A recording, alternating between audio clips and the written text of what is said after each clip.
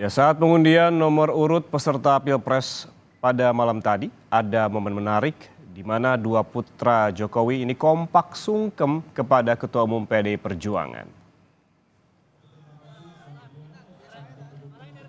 Cawapres Gibran Raka Buming Raka tampak sungkem dan bersalaman tangan kepada Ketua Umum PDI Perjuangan Megawati Soekarno Putri.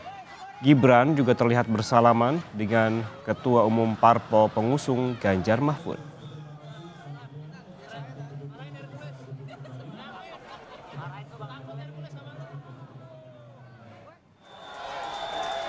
Bang duduk bang, bang duduk bang.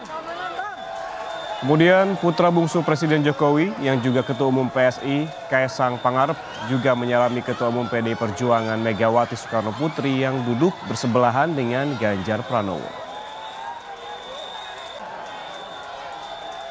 Bang duduk bang, bang duduk bang.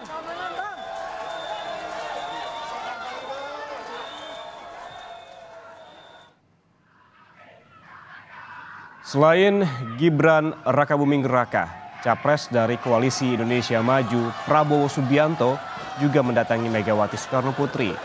Prabowo lalu memberikan hormat kepada Ya, Megawati, terlihat, saudara, kemudian bagaimana menyalaminya. Tali silaturahim meskipun berbeda eh, pandangan politik, ide gagasan dari masing-masing koalisi ini bagaimana